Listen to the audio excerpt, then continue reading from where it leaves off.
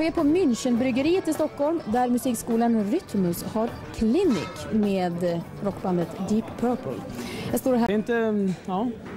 Deep Purple då, vad säger ni om dem? Är det något att ha det? Alltså, Det är liksom, ja tack nu kan jag sluta Rytmus. Ja, precis. Det räcker nästan känns det är det största som Rytmus har haft och att vi får vara här och gå på skolan när det händer. Ja, och så får vi sen får med. sjunga med dem. Det är ändå... Det är otroligt. Det är obeskrivligt. Ah. Det finns inte egentligen.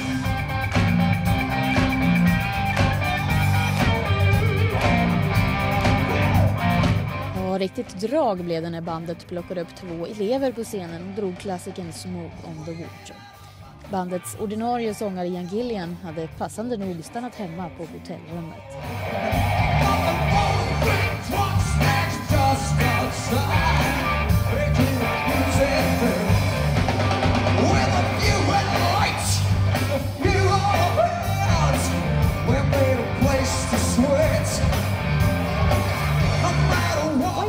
This? Well, a, good friend of the band's here runs uh, Microsoft, and it was his idea to do it. And he dreamed it up with the head of the school, and we said, "Yeah, we'd love to do it." And uh, here we are. What a what a great experience, actually. Uh, I didn't expect anything like this. I thought it'd be people asking, you know, questions, and you don't don't know what to say. But it we just flowed, and we played, and it was great.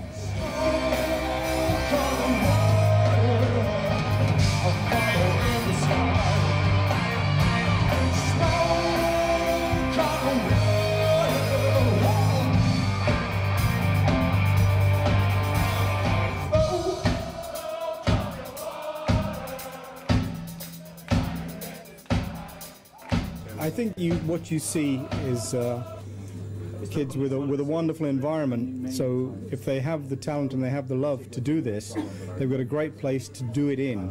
Something that we didn't have, you know. So uh, if you've got kids out there who've got the talent, uh, it's going to come through and be very obvious very early. And you saw with those two guys who got up on stage and just worked it out between them how they were going to approach it. That was very professional.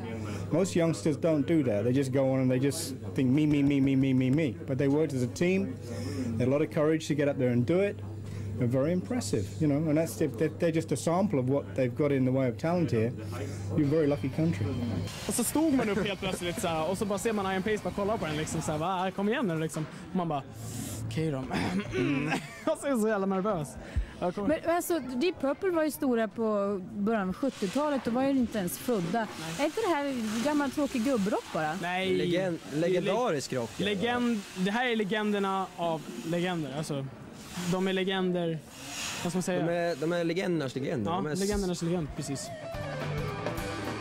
Well, actually, I didn't expect it to be quite so many people. It was actually it was more like a, a rock gig. Um, when I'm home, you know, my, where my kids went to school, I, I go to the school sometimes and I give talks, illustrated talks. I take a bass, take some records, and I tell them really about the history of music, because I think it's important to to understand where music comes from. You know, kids aren't really interested. They're interested in what's now, what's new, what's fresh. But once they get beyond that and they start getting back and looking back, so, so one of the things I do is, is uh, in my own things, is talk a little bit about the history of stuff.